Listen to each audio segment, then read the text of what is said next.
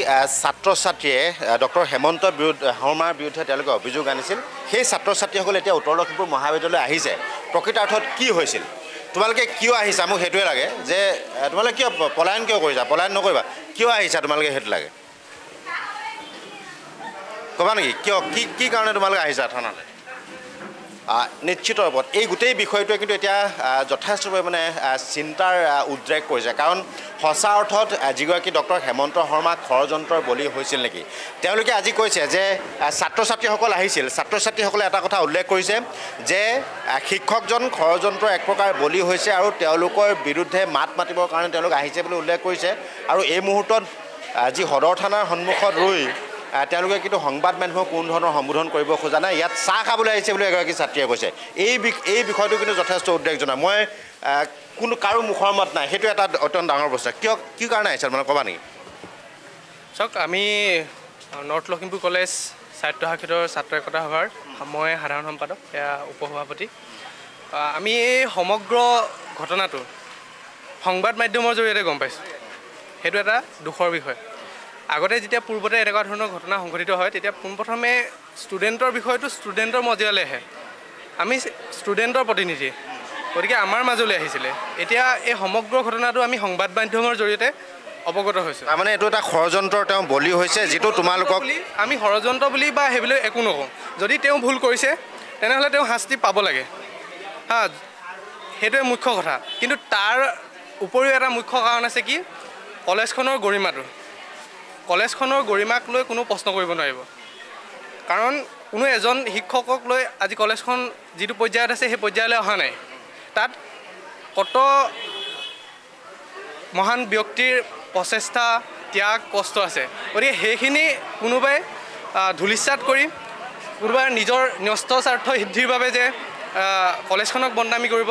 সেইটো হ'ব নোৱাৰে। সেইখিনি মই বুজি পাইছোঁ। কিন্তু কথা হ'ল যে এতিয়া তোমালোক আহিছিলা অহাৰ কাৰণটো কি? তোমালোকে থানালৈ আজি কিয় আহিলা? চাওক আজি আমি থানালৈ আহিছোঁ আমি নিৰপেক্ষ হিচাপে আহিছোঁ আমি ইউনিয়ন বডি হিচাপে আহিছোঁ। মানে এই যিটো ঘটনা সংঘটিত হৈছে তাত আপোনালোকক যেনেকৈ তেওঁলোকে মত প্ৰকাশ কৰা নাই আমাকো কোনো ধৰণৰ মত প্ৰকাশ কৰা নাই। ষ্টুডেণ্টে আমাৰে ষ্টুডেণ্টে হৈ আমাৰ লগত আজি কথা পতা নাই। স্পষ্ট আঠানগৰাকী ছাত্ৰ ছাত্ৰীয়ে আমাৰ লগত কথা পতা নাই। তেওঁলোকে যেতিয়া ইয়াত আহিছে আপোনালোকে আহোঁতে যেনেকৈ তেওঁলোকে গৈ বহি আছে তেনেদৰে আমি যেতিয়া আহিছোঁ তেওঁলোক গৈ বহি আছে। সেইটো এটা ডাঙৰ প্ৰশ্ন। আমি নিজে আচৰিত হৈছোঁ। তাৰমানে তেওঁলোকক কোনোবাই হয়তো ডিক্টেট সেইটো আমি ক'ব নাযাওঁ আপোনালোকক যিটো সঁচা কথা দেখিছোঁ সেইটো কৈছোঁ।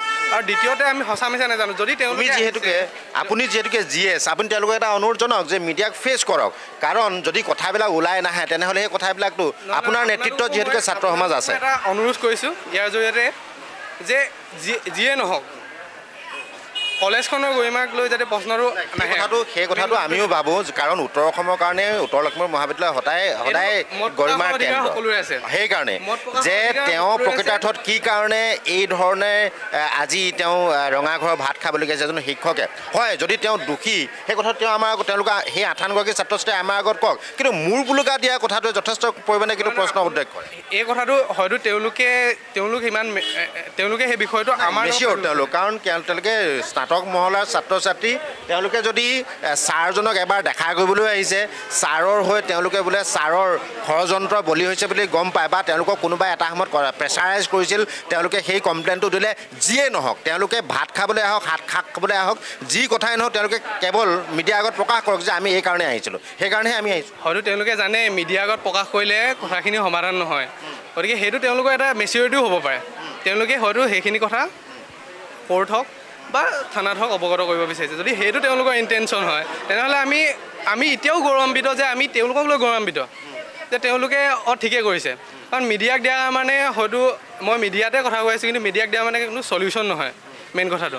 আৰু যদি মিডিয়াই সঁচা আপোনালোককো অনুৰোধ কৰিছোঁ মানে যিটো সমগ্ৰ বিষয় আছে সেইটো নিৰপেক্ষভাৱে আপোনালোকে নিজৰ এই আমি এতিয়া নিৰপেক্ষ ৰূপত প্ৰচাৰ কৰিবৰ কাৰণে আমাৰ দুইটা এতিয়া প্ৰিন্সিপালে কালি বাইট দিছে আমি তেওঁৰ মন্তব্য প্ৰকাশ কৰিছোঁ।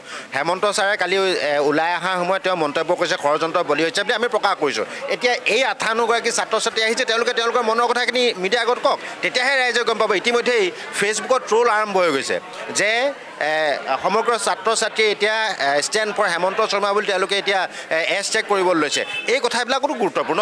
আমি বিশ্বাসী?